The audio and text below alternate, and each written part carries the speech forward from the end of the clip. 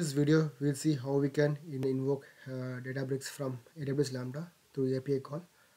Uh, for this demo I have used API call to get all the jobs uh, from Databricks. Uh, let's see how we can do this in Lambda. I quickly open AWS portal.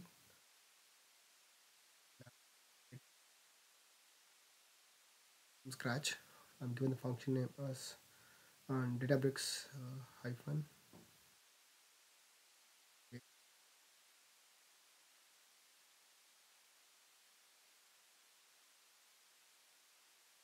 Python 3.7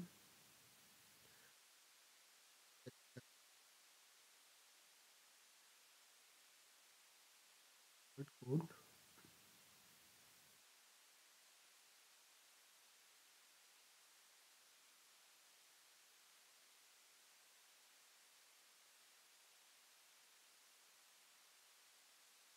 code into this hmm um, path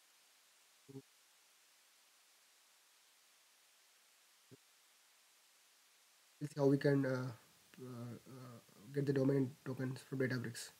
Go, go into Databricks. Uh, at the top, you'll find the URL that gives you domain. And ends with .com. That is the your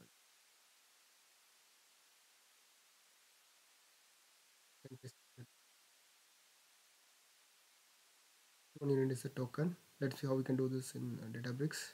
Go to settings on uh, access token uh, click generate new token.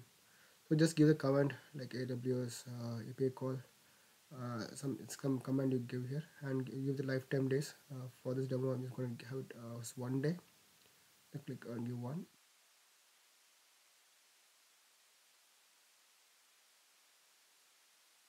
And paste it in the token variable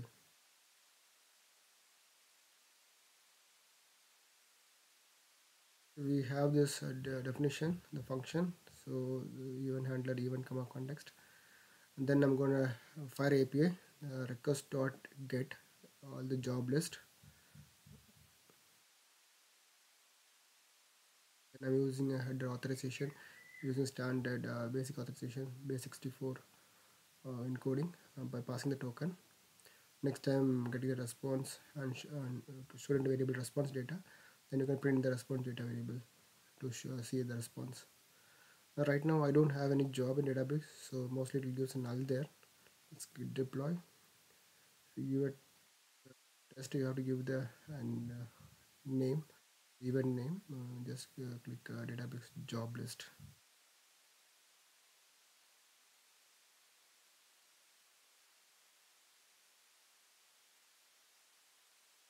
variable then uh, claim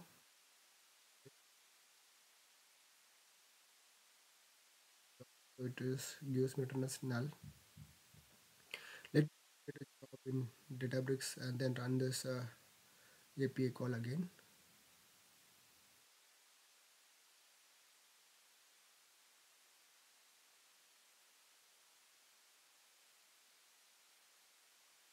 Job in databricks now let me see uh, uh, let me run this and see how what is the output we're getting now.